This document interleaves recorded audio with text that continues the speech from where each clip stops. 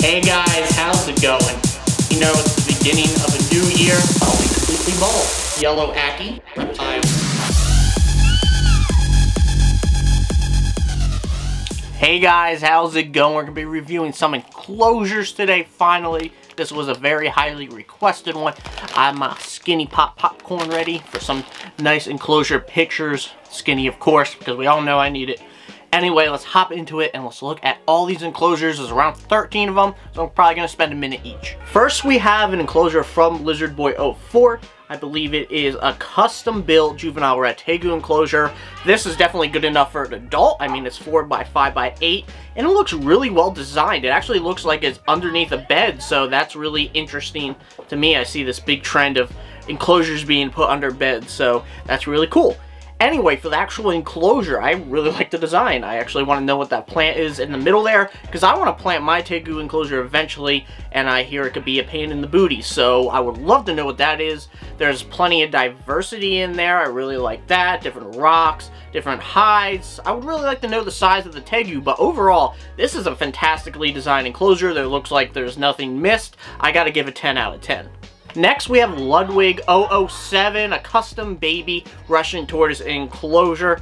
I like it. It's pretty simplistic. I do think it's better for uh, a Russian tortoise in general since they use so much space. I know it's a baby, but just to go with the full adult size.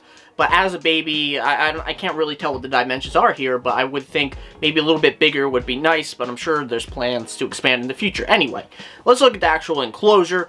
I like kind of the different diverse stuff in there. There's a bone in there. There's different hides, which I assume are big enough for the size of the Russian tortoise. I like the couple different basking spots. There's UVB. I like the hay on the right side that's built up. That can act as a nice moist hide with which Russian tortoises can still utilize even though they're an arid species. So overall, all the criteria is met. I would like it a little bit bigger, but I can't complain really, and I think it's much better than probably a lot of Russian tortoise enclosures out there. So let's go with an 8.5 out of 10. Alright, so let's see who's next up, and it is Baldylocks which we should all know is Wickens Wicked Reptiles. He changes his name every other day on Discord. Not, not sure why, because you can tell it's him by that cheesy little yellow icon he has there. That looks like it should be slapped on a promotional for a Mr. Clean bottle. But let's get ahead and go and look at his enclosure. Now, I'm not sure what is housed in this. He did not leave a note, but I believe from watching his videos, this is a snake. So it probably wouldn't help me if I knew which species it was. I like the overly simplistic design of this enclosure, and that's not like a bad thing. I think snakes thrive in a more simplistic type design enclosure where it just has all the essentials.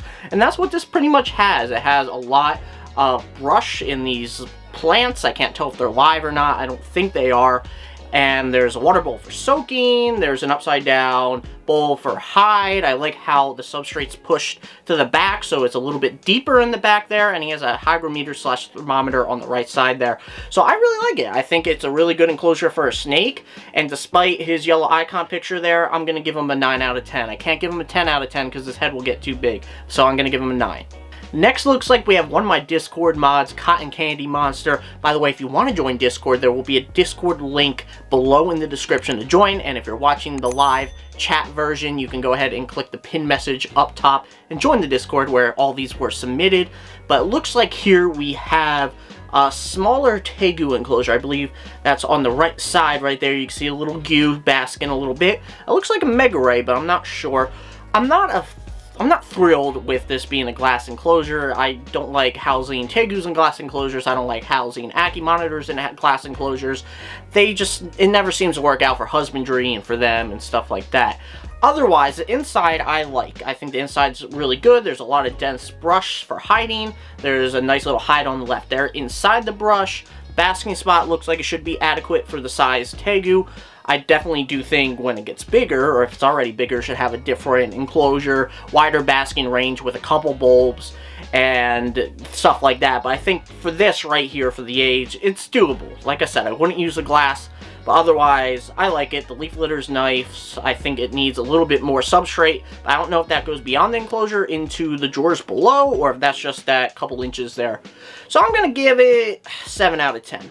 Next up, we have a really interesting one. This one's from Bick on Discord. There's a second enclosure we're going to look at, too, from him.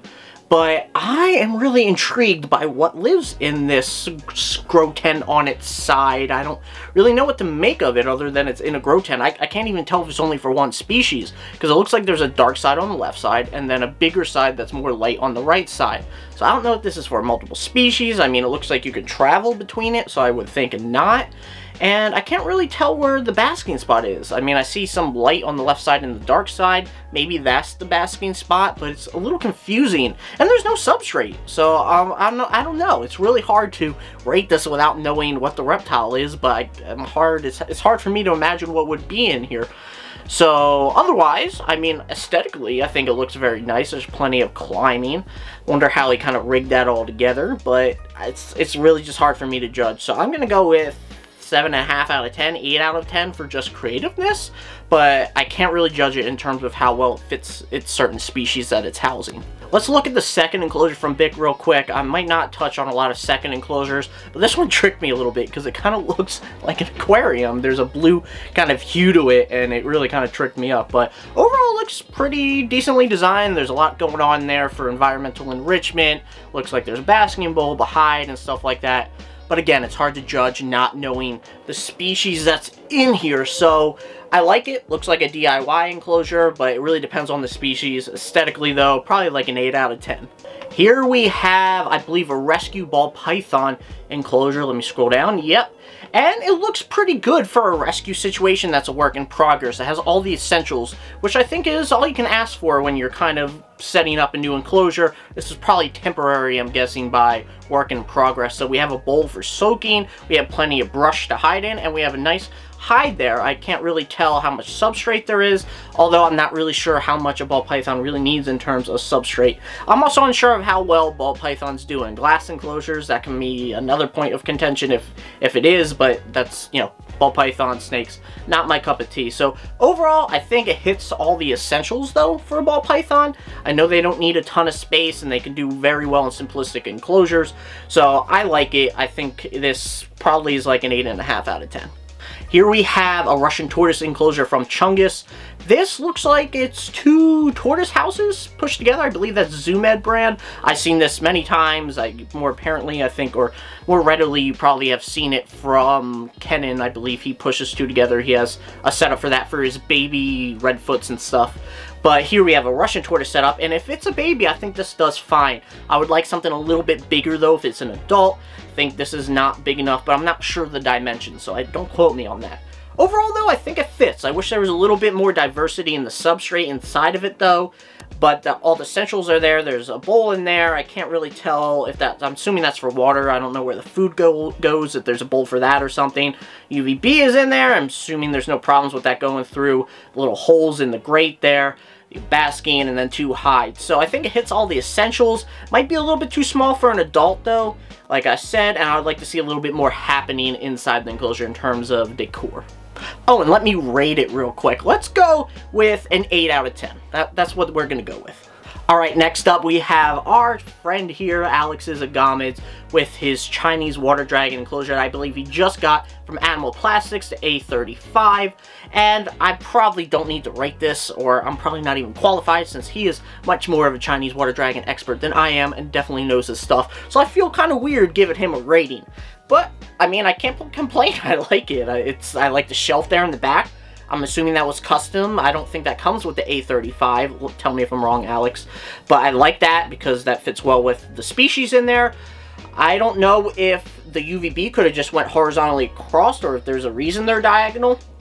I believe it. I mean, I don't think there's anything wrong with it. I don't know how to really say that. But I've never seen really a setup where they're diagonal, and not just going horizontally across. But I'm sure it's fine. Maybe so there's more of a concentrated UVB basking zone on that platform there. I like how he rigged together the different bark there. I forget what they're called, the cork rounds. I like how he did that. I, I wonder how sturdy they are because I can never get them that sturdy looking like that. And then I believe those are fake plants, but those are aesthetically pleasing. So I think overall, this looks really good. I can't see below it, but I'm going to assume everything's right because it's Alex here. And I got to give this one probably like a 10 out of 10.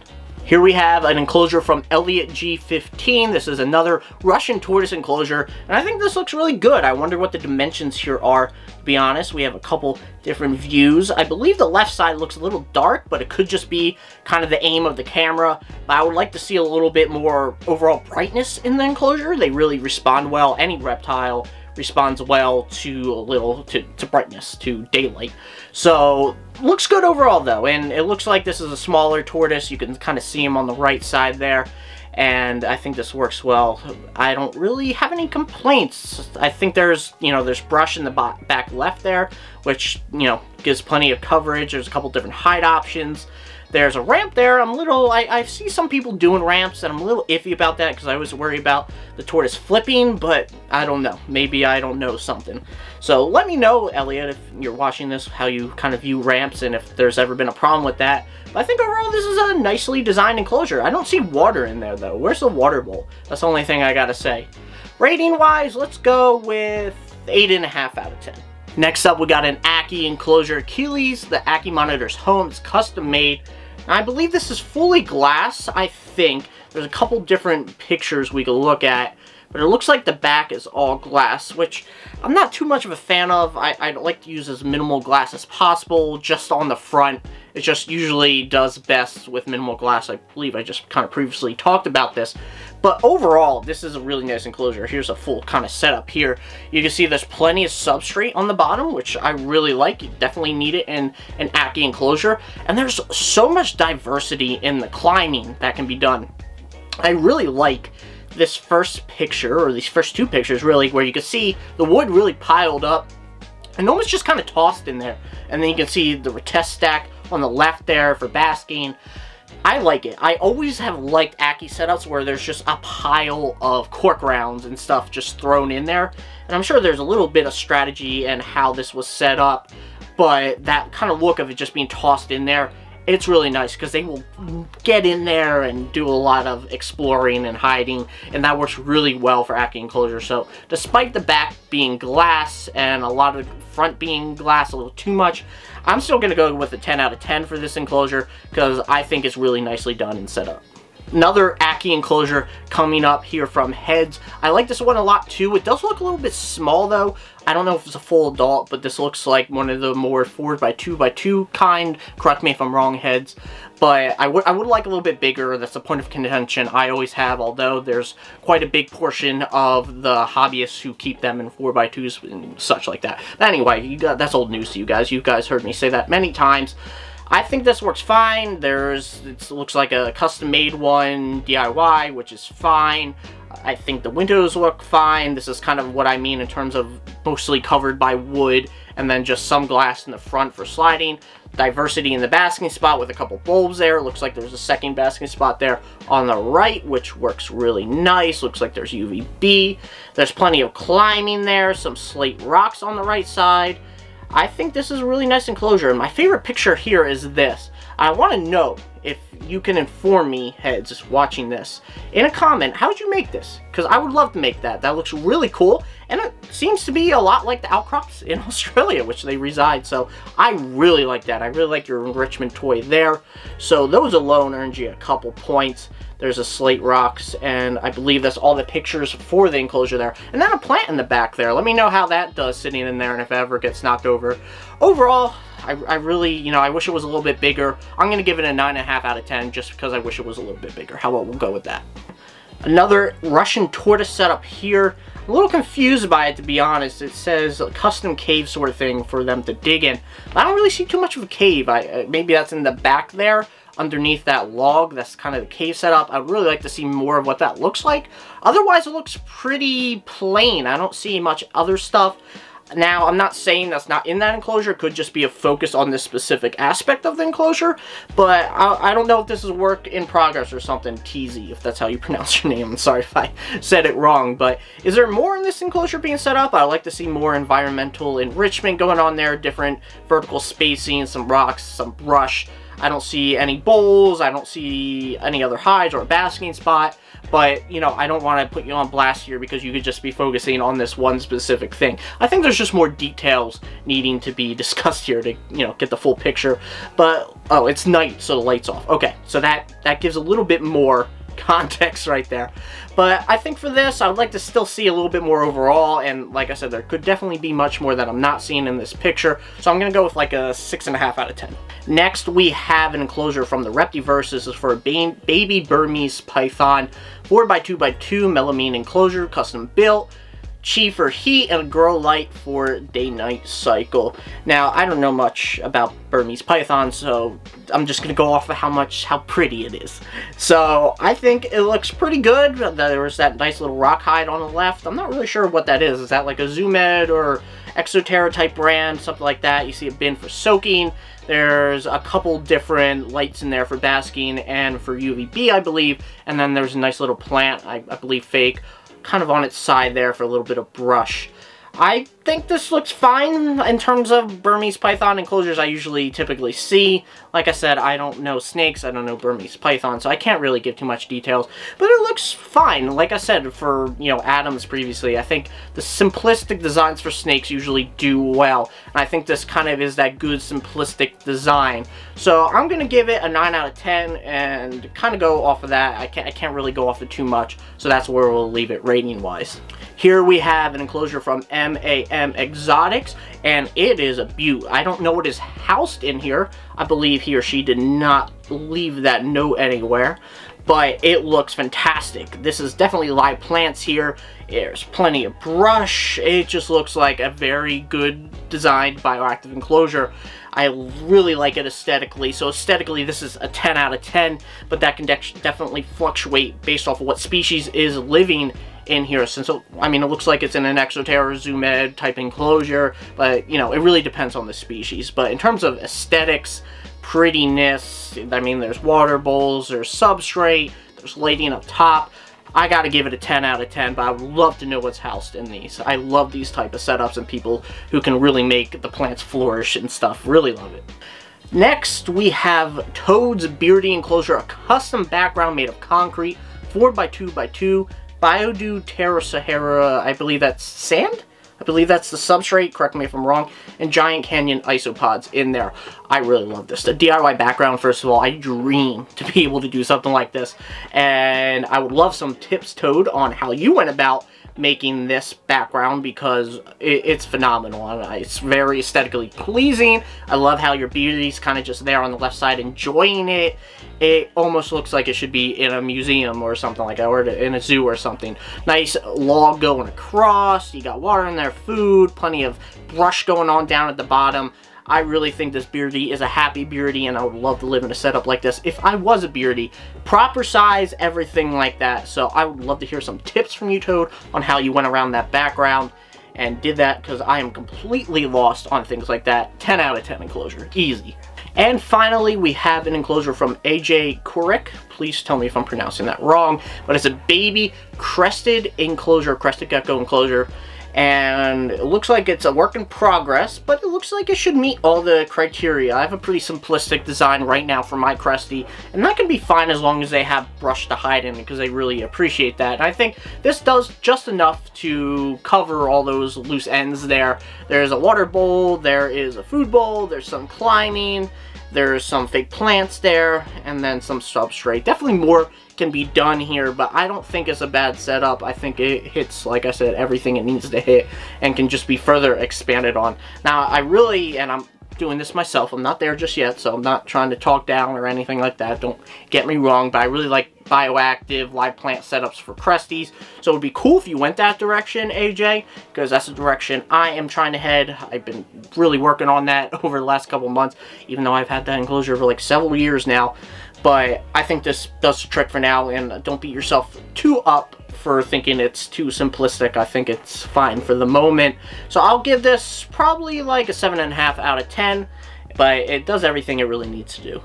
And that's all the enclosure. I'm sorry if the lighting's weird in here and I got a weird reflection in my glasses, but I hope you guys enjoyed. I hope I wasn't too harsh on anyone. I really tried to be objective and, you know, just try to give a good rating to what I believe and just give my good accurate feedback. I also tried not to focus too long on it, but that's my review. What do you guys think about these enclosures? Which one was your favorite? Would you like to see me do a part two eventually when I get more enclosures sent to me on something like this?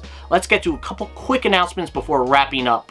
I apologize, guys. I forgot the stickers for Patreon, but I'm going to shout you guys out still. I want to shout out Kat and Rick, Darian J, Smooth Cat, Angela L, David T, Ellen M, Stephanie S, Toothy Chicken, Crisp Cuts, and Hex. I really appreciate your support, guys. You guys too. Oh, and Adam B. Adam B. I almost forgot it. I almost forgot it. Oh, and I also forgot Darian J's sticker in that last video. Don't think I didn't notice. Anyway, guys, if you want to go ahead and be a patron, make sure to check the top right corner. There's more information there. Tier 3 gets you on my forehead. If you see my past videos, you know what that looks like. Just different stickers on my head. And otherwise, I really appreciate you guys supporting the Patreon. Also, get $5 off your first purchase of Reptilinks by using code Professor Herp at checkout. Reptilinks is the primary diet for my Tegu Frappuccino. He loves it. It's nutritionally rich. You can also use it for hognose snakes and blue tongue skinks and other species. So definitely check them out. $5 off your first purchase by using code Professor Herp at checkout. There's a link directly below that applies it automatically. And that's it. Hope you guys enjoy. Let me know if you liked this style video. Let me know if you liked the idea. Let me know if you would like to see another one eventually. Leave a like, comment, and subscribe. And I will see you guys in the next video. Bye, guys.